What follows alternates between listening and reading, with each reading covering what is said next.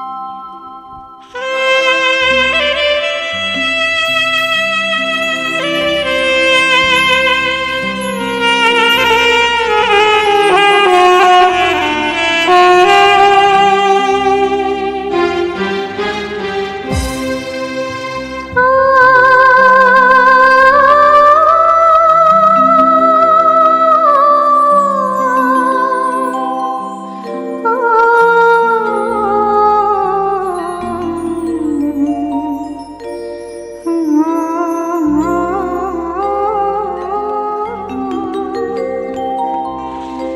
बिदर दीवान मा तुझको मेरा मन